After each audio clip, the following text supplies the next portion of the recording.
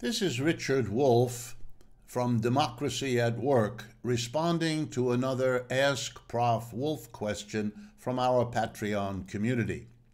This question comes from Nicholas Cuevas, and I want to answer his question, which basically asks me to explain the meanings of terms like historical materialism, dialectical materialism, dialectics, and so on. These terms have a long history in philosophy generally, and particularly in Marxian or Marxist inspired philosophical debates.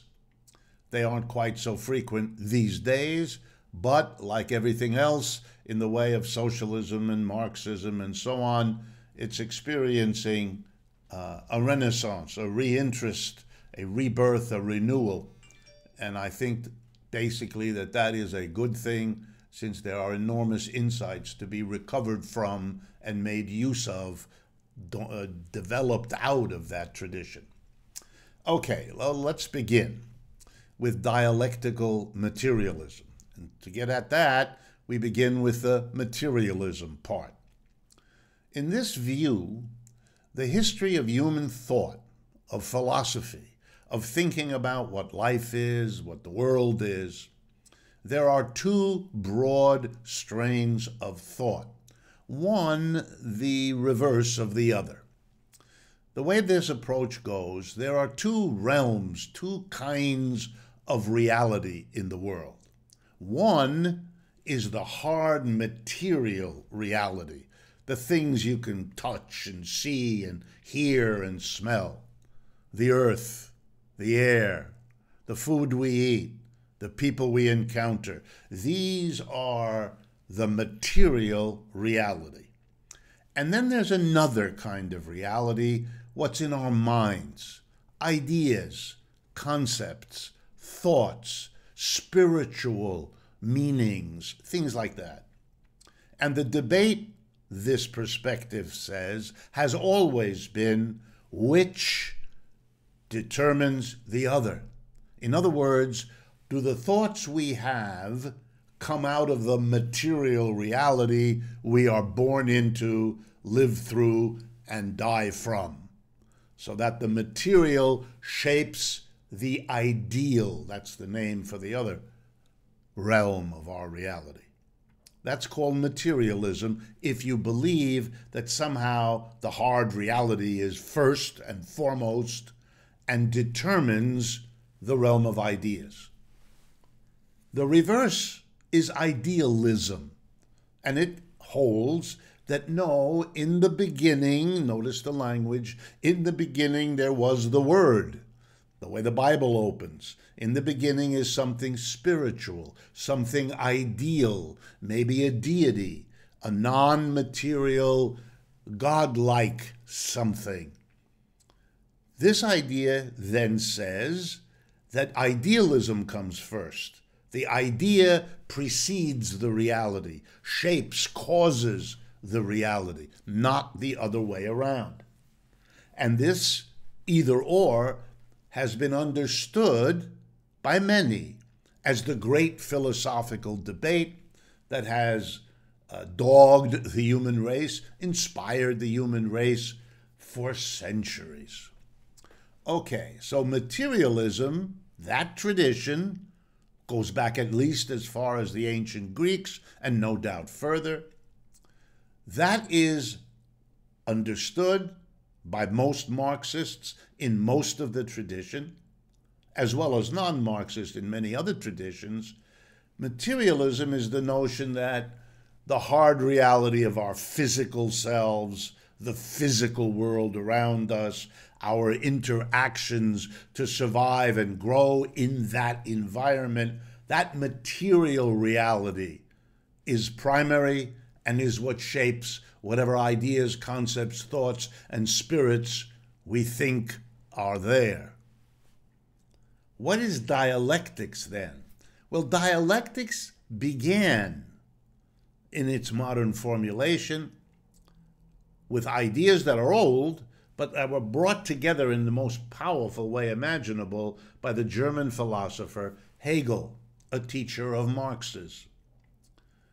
And Hegel's notion was yeah, idealism comes first. He was a good Christian in that way. But he saw a very complicated relationship between the ideal and the material. And it wasn't simply one determined the other, but a kind of back and forth between them. Marx developed this idea much further insisted that he was a materialist, Marx, and most Marxists have agreed, but that he wasn't about to say that the material determines the ideal end of story. No, no, no. That Marx criticized as mechanical materialism. He distinguished his own view as dialectical materialism, and here's roughly what he meant. The material is in some way primary. It shapes our ideas, our spiritual notions, our religions, our cultural institutions, and so on. The material shapes the ideal, but here comes the big idea it goes in reverse too. The relationship between dial uh, excuse me between materialism and idealism is dialectical.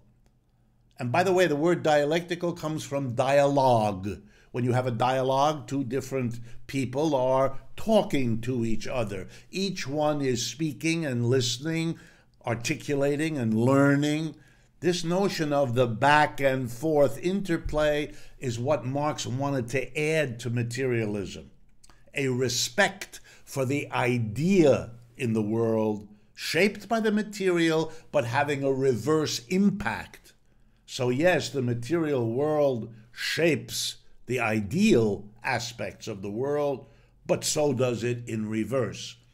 Most Marxists finishing this idea by saying it's an interaction, materialism is a dialectical relationship with ideas, but it's back and forth.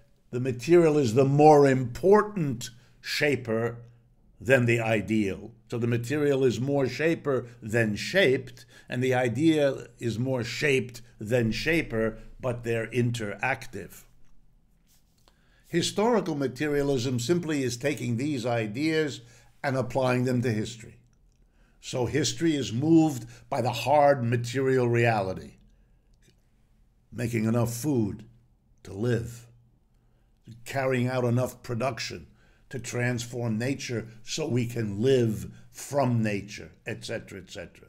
Material reality, but it shapes religions, ideas, concepts, spiritualities, which in turn impact on our history. So it's a dialectical, materialist approach to explaining history. And that's called historical materialism because if it's taken from this Marxist notion of dialectics, it incorporates the dialectics in itself.